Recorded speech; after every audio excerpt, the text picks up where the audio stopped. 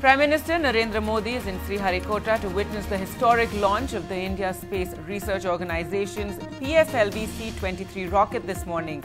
The 230-ton polar satellite launch vehicle will lift off at 9.52 this morning from the Satish Dhawan Space Center.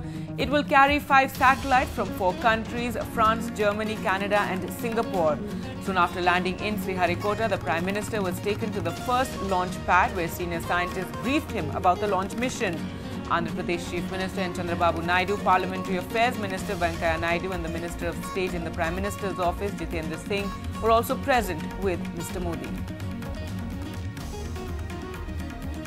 Listening on the launch pad, India's Polar Satellite Launch Vehicle or PSLV, ready for liftoff on its 27th mission and out to impress Prime Minister Narendra Modi, who will witness from the rocket port this fully commercial launch that will ferry five foreign-made satellites of French, Canadian and Singaporean origin. We consider this opportunity as one of the prestigious events for Antrix. Are you excited that the Prime Minister is going to witness the launch?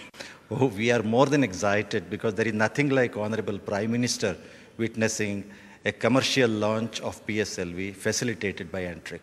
On his first visit to an Indian science facility, Prime Minister Narendra Modi will be shown many novel Indian developments. ISRO will showcase the latest monster rocket, the geosynchronous satellite launch vehicle Mark III, the massive 630 ton rocket capable of ferrying astronauts into space. In addition, on display could be the crew module capable of carrying two to three Indian astronauts that is likely to be launched into space but minus human beings later this year on its first test flight.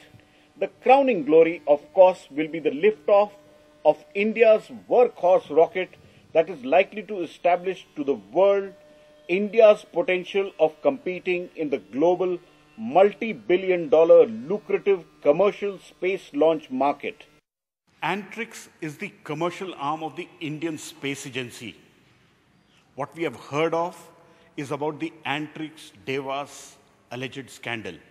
But today there is something to celebrate at Antrix, a commercial launch of the Indian Polar Satellite Launch Vehicle, a satellite launch which Prime Minister Narendra Modi is likely to witness.